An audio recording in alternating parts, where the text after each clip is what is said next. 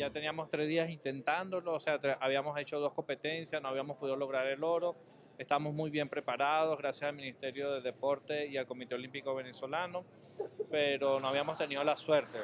Gracias a Dios hoy se rompió ya ese, eh, ese obstáculo para lograr la medalla de oro y salió.